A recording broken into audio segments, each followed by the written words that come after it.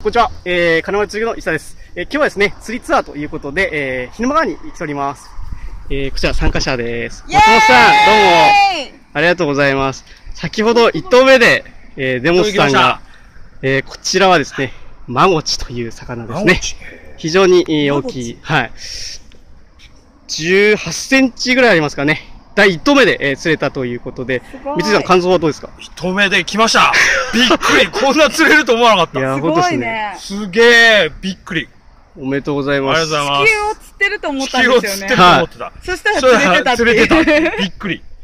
すごい。バシバシ釣っちゃってください。ありがとうございます。おめでとうございますまた、おめでとうございます。へーで、これを